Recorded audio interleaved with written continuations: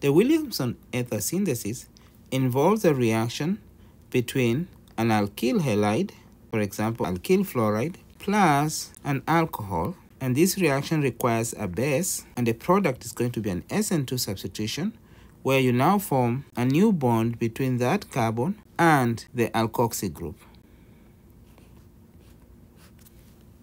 You'll clearly see that this contains carbon, oxygen and carbon, so COC or alkyl group, oxygen alkyl group and that's what we call an ether.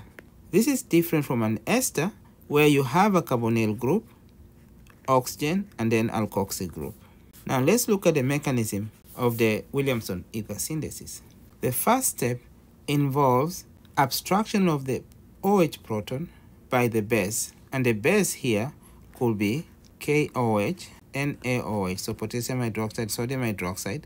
It could also be KH or sodium hydride. So there's so many different bases that can be used. If we're using KOH, then the active base will be OH minus, and that will abstract a proton from the alcohol and then these two electrons will flow to oxygen to form an O minus and therefore you end up with this product which is basically water plus and that's the alkoxide intermediate so the first step leads to the formation of the alkoxide intermediate and then step number two we use the alkoxide intermediate to carry out an SN2 substitution of the alkyl fluoride you always draw the arrow starting from high uh, regions of high electron density. So starting from the nucleophile or Lewis base, which in this case is the O minus, and then that will come and connect to that carbon while kicking out the fluoride group at the same time, and you end up with this as the product,